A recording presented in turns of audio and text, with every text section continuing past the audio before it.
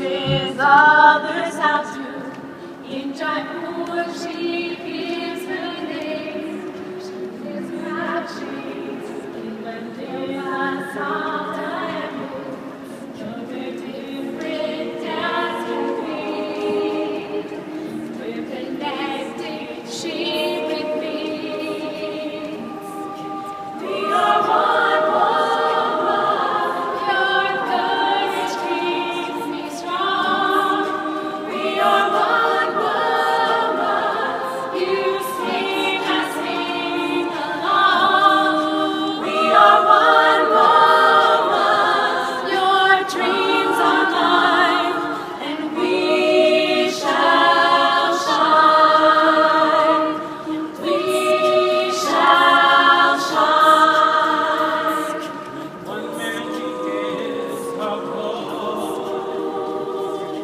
Day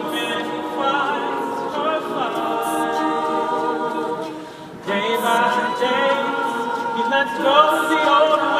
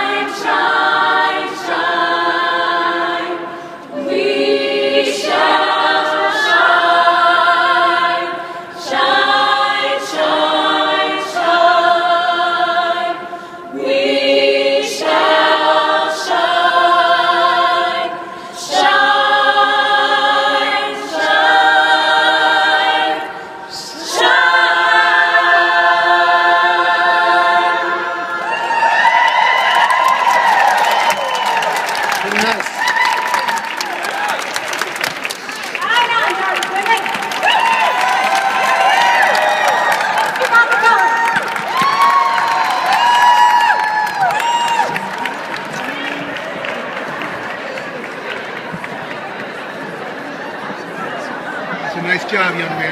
Thank you, sir.